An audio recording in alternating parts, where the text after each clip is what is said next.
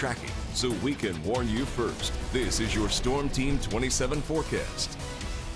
YSU Penguin football teams are going to be traveling from Youngstown up to Washington State. We've got 18 degrees now. They have 32 in Seattle, but they're not going to Seattle. They're going near Spokane. that means it's going to be cold. Saturday starts about uh, 6:30, 3 degrees, staying at 3 degrees and dry, dropping to 2 degrees by 8:30 in the evening. So that is going to be one cold game. Not going to get quite that cold here, at least not the uh, average, actual temperature. The wind chill is going to be much colder, though. Currently, we have 18 degrees, and you can see how bright and sunny it is with those shadows there at the Lake Club. Feels like 4 degrees above zero, but we will be below zero before you know it. Here to, tonight uh, uh, into Thursday, we've got Thursday morning temperatures at 5 below zero. Eventually, seven below zero, and then back to five below zero throughout the day because tomorrow is going to be one windy day. As for December records, look at how much snow we've had so far 12.2 inches. We're getting closer to the uh, top 10 snowiest Decembers on record, and we'll see if that bears out with this snow.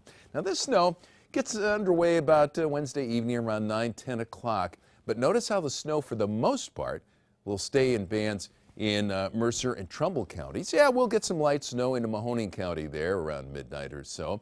Then you see the band continues off of Lake Erie.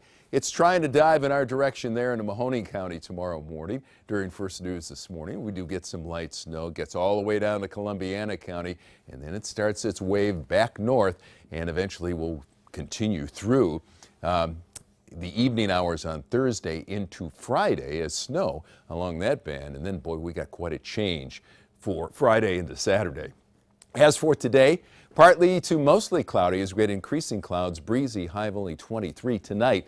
Mostly cloudy, snow developing around 9, 10 o'clock, temperature around 16 at midnight and breezy, and then becoming windy tomorrow. We'll start to get some snow in the morning. It's going to be scattered around. Most of the snow, Trumbull, Mercer County, about three inches there. For the rest of us, an inch or less. And a high of only 12 degrees, wind chills below zero in the morning and the afternoon. Then we're up to 20 on Friday. Snow starts Friday evening, but it changes to rain on Saturday with a high of 42, changes back to snow as the temperature dives from 42 now to 25. High of only 30 on Sunday, but at least that snow ends Sunday morning. And then the temperatures slow to warm up next week as we get closer to Christmas Day.